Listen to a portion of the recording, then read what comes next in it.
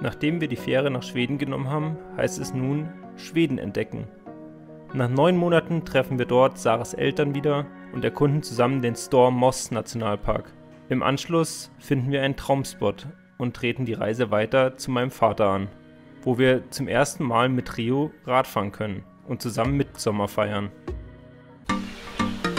Hi, wir sind Tobi, Sarah und Rio. Ende August haben wir unsere Jobs gekündigt und sind seitdem mit unserem 40 Jahre alten Wohnmobil auf Reisen. Steigt ein und begleitet uns.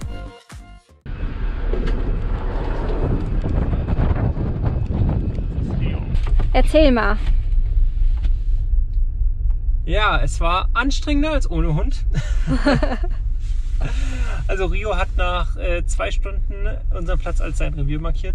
Markiert. Markiert. Nicht markiert, äh, als sein Revier begriffen und ja, er verteidigt ja auch unser Auto gegenüber anderen Hunden und ab da fand es auch nicht mehr so geil, wenn andere Hunde kamen. Aber dann waren wir oben am Sonnendeck und es war super relaxed. Da waren dann noch zwei andere Hunde. Ähm, mit dem einen hat er, also er wollte immer spielen, sie wollte aber nicht. Aber da konnte er sich dann austoben ein bisschen. Äh, da war es eigentlich entspannter. Und aber ich sag mal, äh, ohne Sonnendeck, das wäre eine lange Fahrt gewesen mit einem jungen Hund, der sehr viel Bewegungsdrang hat. Ja. Mhm. Aber wir sind auf jeden Fall froh, dass wir oben waren. Äh, genau, und jetzt sind wir in Schweden gelandet. Und nach, boah, wie lange waren wir jetzt unterwegs? Sechs Stunden? Ja. Knapp über sechs Stunden. Also es ist jetzt elf. Laut unseren Unterlagen sollten wir um Viertel nach zehn ankommen. Also sieben Stunden. Stimmt, sieben Stunden.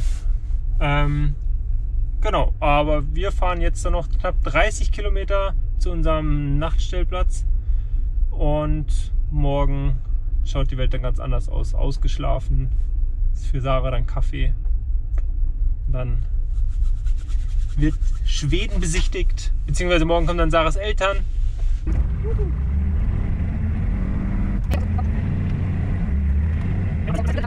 Ich warte immer noch.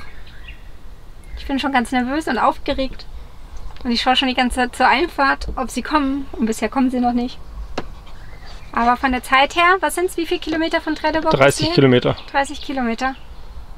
Müssten wir jetzt schon langsam kommen. Demnächst, ja. Aber sie haben eben gesagt, sie stehen im Stau. In Trelleborg selber.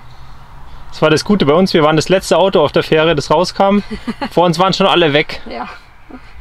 Standard, dass vor uns alle weg sind.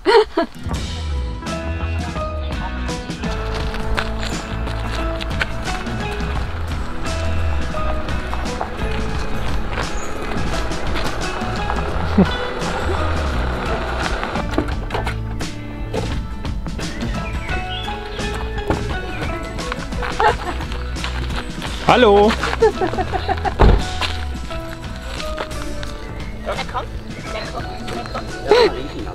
Ja. Okay, er freut sich schon. Er riecht die Leckerlis. Ja.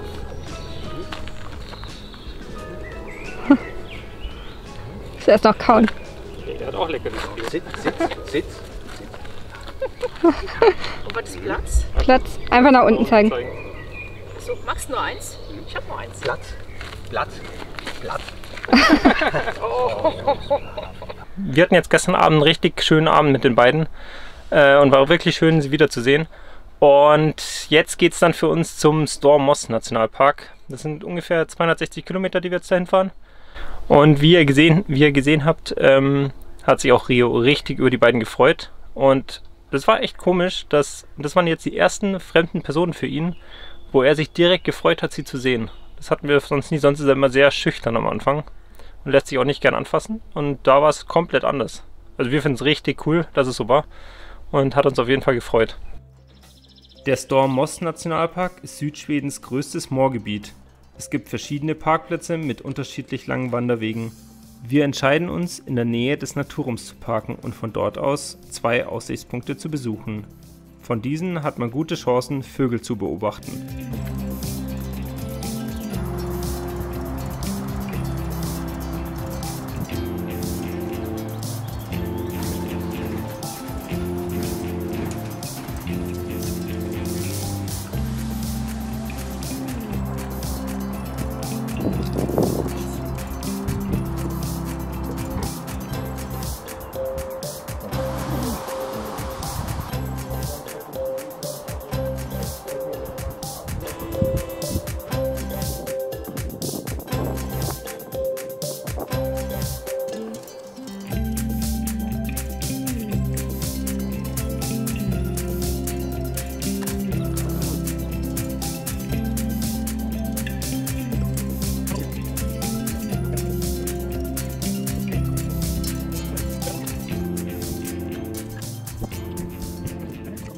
Die Sarah ist jetzt gerade mit ihren Eltern noch zu einem anderen Aussichtspunkt gegangen.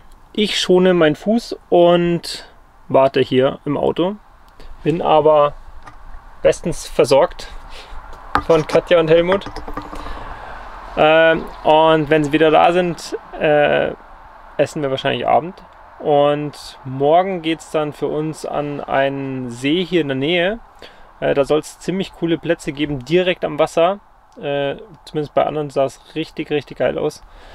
Und da freuen wir uns auch schon. Und im Anschluss ist jetzt unser Plan eigentlich schon, dass wir zu meinem Vater hochfahren. Und äh, das weiß er aber noch nicht von seinem Glück. wir müssen mal fragen, ob das dann schon passt. Genau, so der Plan für die nächsten Tage. Wir sind jetzt noch immer im Stormos Nationalpark. Äh, wir haben jetzt hier geschlafen und gehen zum Aussichtspunkt und hoffen natürlich, dass wir jetzt heute Morgen ein paar mehr Tiere sehen wie gestern. Ich habe schon wieder den Namen von dem Vogel vergessen, den wir gestern gesehen haben. Ein Tana? Tana, Tana, Oh, muss ich nochmal nachschauen. auf jeden Fall ein relativ großer Vogel. Äh, ja, wir blenden ein Bild ein auf jeden Fall. Sofern wir ihn nicht sehen beim Filmen jetzt.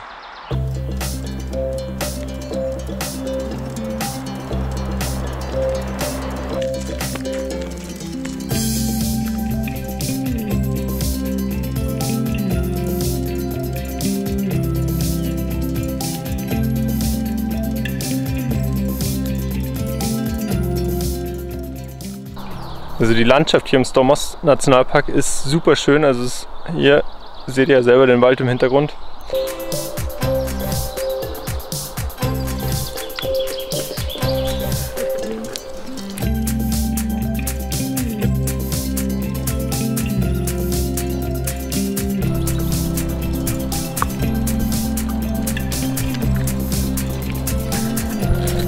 Er crasht halt jede Aufnahme, die man macht.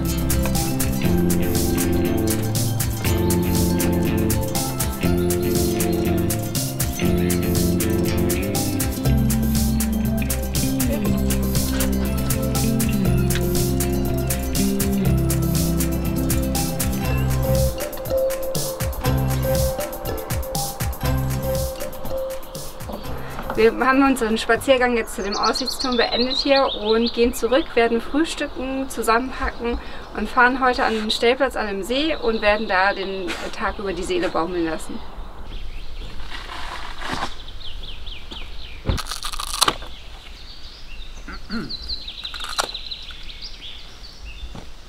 Wir sind hier an unserem Nachtplatz angekommen, sind heute Morgen vom Stormos weitergefahren und es ist so traumhaft schön. Wir haben Sonne und wir stehen direkt am, am See oder am Fluss und da führt eine kleine Holzbrücke drüber. Wir waren schon etwas spazieren.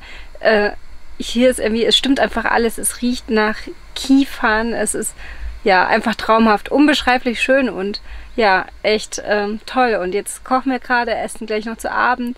Eventuell ähm, schmeißen wir noch ein Scotty an und machen ein Lagerfeuer darauf und also im Scotty ein Lagerfeuer und trinken noch einen Glühwein. Ja, der perfekte Tag einfach. Schöner könnte es gar nicht sein.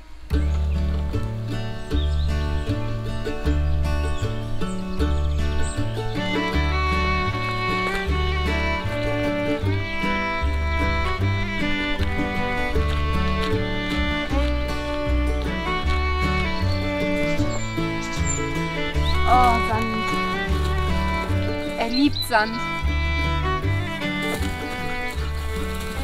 So, wir haben unseren Traumstellplatz gefunden. Ja. Er ist jetzt nicht hier, wir sind ein bisschen gegangen, weil wir spazieren waren. Aber es ist direkt an dem Fluss und äh, an einem kleinen Wanderweg. Wir stehen da eigentlich nahezu komplett allein schon die ganze Zeit. Es waren vielleicht gestern fünf Leute da. Und es ist einfach traumhaft Ja. schön. Also die ganze Landschaft hier Ja. ist so unglaublich schön. Ist halt Natur pur. Wir sind ungefähr, ich weiß nicht, 60, 70 Kilometer südlich von Jönköping. Und also, ja, wir können einfach nur sagen, die Landschaft ist atemberaubend. Es sind halt die richtig schönen Wälder, du bist alleine am Wasser und auch von Mücken her hat sich ziemlich in Grenzen gehalten, außer so Ja. kleine Kriebelmücken. Kriebelmücken, die mich an der Stirn gestochen haben. Und ja, hinter uns, ich meine, das ist nur ein Beispiel für einen See hier, der direkt dran liegt. Es ist, ja, Und da drüben ist ein Haus am See. Und das ist so toll. das da. das wäre unser Haus. Ah, das ist so toll, wie das hier liegt. Also traumhaft schön. Das ist Ja. ein Ferienhaus oder so. Und äh, nachher, also keine Ahnung, wahrscheinlich gegen Mittag werden wir äh, losfahren zu meinem Vater. Da fahren wir heute jetzt knapp 200 Kilometer Richtung Norden. Und ja, heute Abend gibt es dann äh, zusammen Lagerfeuer Und Pizza. Und Pizza wahrscheinlich. Genau. Richtig geil. Ja, wir freuen uns. Auf jeden Fall. Und bis dahin genießen wir jetzt hier noch den Vormittag. Und, Und- zeigen euch den Platz. Sarah?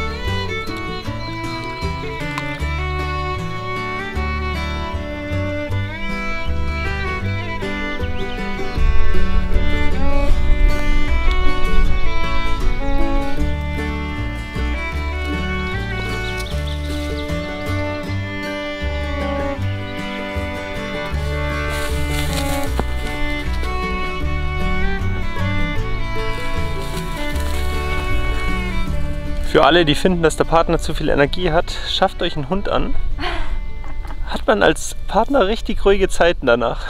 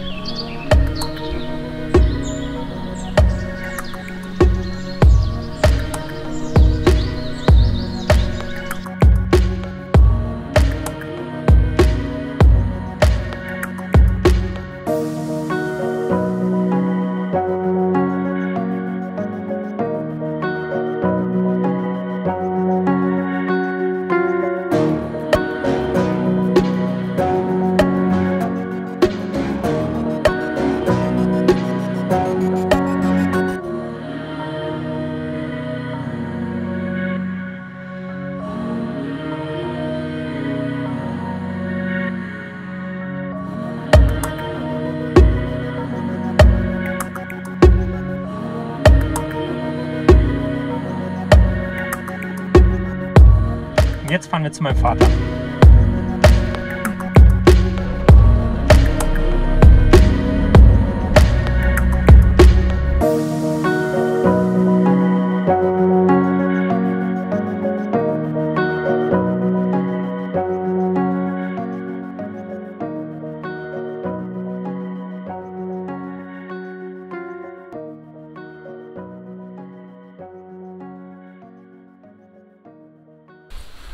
Was ist das?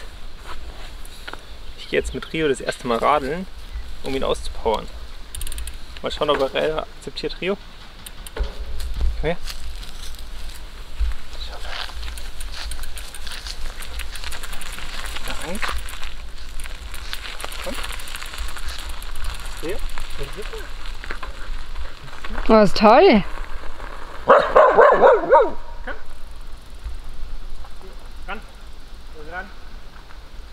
Bei meinem Vater haben wir die Möglichkeit, das erste Mal Rio beim Radeln mitlaufen zu lassen. Nach anfänglichen kleinen Schwierigkeiten war es ab dem Zeitpunkt, als Sarah mitlief, kein Problem mehr.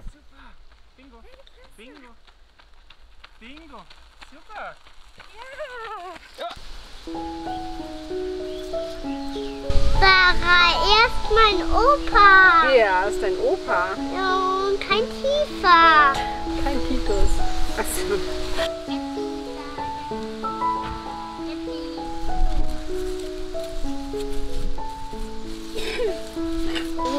Um in Schweden hier nicht negativ aufzufallen, wollen wir uns gut vorbereiten, weil zum Mitsommer in Schweden ist es eigentlich üblich, dass man weiße Klamotten dann heute Abend zur Party trägt. Und dazu passende Blumenkränze, die man ähm, mit Birkenzweigen flechtet, Blumen reinmacht. Und ähm, warum das genauso ist, wissen wir nicht ganz, aber wir dachten, es schaut schön aus und wollten es mal austesten, deswegen probieren wir es gerade. Genau. Die Steffi hat einen Kranz. Wo ist dein Kranz, Steffi? Das ist mein Kranz. Ein gratis. Boah, Den ist schon fertig. das schaut doch gut aus. Um die Mitsommersonnenwende wird in Schweden Mitsommer gefeiert. Frauen und Mädchen tragen bei der Feier einen Blumenkranz im Haar. Das Fest findet jedes Jahr an einem Tag zwischen dem 20. und 26. Juni statt. Ja, Gigi, kannst du die mal andersrum setzen? Ja. Und andersrum gefällt er mir besser. Weil, weil, weil die Blätter müssen nur nach oben schauen. Das ist wie Cäsar. Das Fest steht dem Volksglauben nach im Zeichen der Liebe. In dieser Nacht sollen Mädchen auf dem Nachhauseweg sieben oder neun Blumen pflücken und unter ihr Kopfkissen legen. Dem alten Glauben nach erscheint ihr dann im Traum ihr zukünftiger Partner.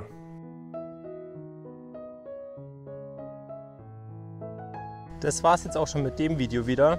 Äh, da wir aktuell ziemlich in den Vorbereitungen für USA-Kanada sind, ist das Video leider wieder kürzer geworden, weil wir sonst einfach den Vorbereitungen und den Arbeiten am Auto nicht hinterherkommen. Deshalb wird es auch die nächsten zwei, drei Male noch kürzer, äh, bevor es dann mit Kanada weitergeht. Wir freuen uns auf jeden Fall mega, sind hier wirklich tief in den Vorbereitungen und ja, wir halten euch auf jeden Fall auf dem Laufenden. Wir freuen uns, wenn ihr Fragen habt, wenn ihr uns kommentiert, ein Like da lasst und uns auch weiterhin begleitet. Und ja, bis zum nächsten Mal.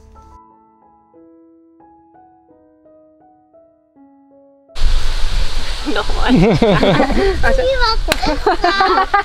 Aber soll ich dann auch sagen, wir feiern hier Mitsommer. Tobi, Kannst du, Gleich gleich, Jonas, das Also ist die Abdeckkappe für vorne. Gesagt, dass wir jetzt zum Geburtstag aber hinfahren. Okay. Und das dass wir Den kannst du halten. traditionell wie am Mitsommer Ja, auch okay. das machen. Okay. Okay.